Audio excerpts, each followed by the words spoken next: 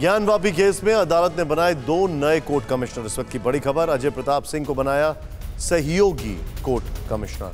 विशाल सिंह भी सहयोगी court commissioner बनाए गए। कोर्ट कमिश्नर अजय प्रताप सिंह ने कहा, अदालत के निर्देश का पालन होगा। हमारे साथ अजय जी मौजूद हैं, जो नए कोर्ट कमिश्नर बने हैं। अजय जी, एक बात बताइए, आपको नया कोर्ट कमिश्नर बनाया गया है, किस तरीके से आप देखते हैं इसको?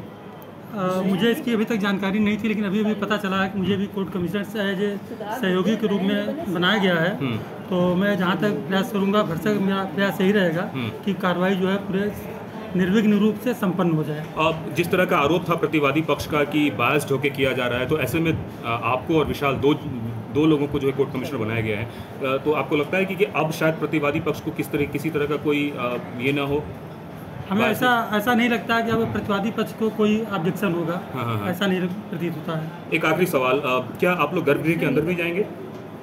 जैसा माननीय न्यायालय का आदेश पहले देखा जाए उसके बाद जैसा होगा फिर देखा जाए। अड़ी सोमवार से शुक्रवार शाम छह बजे सिर्फ़ टीवी नाइन भारतवर्ष पर।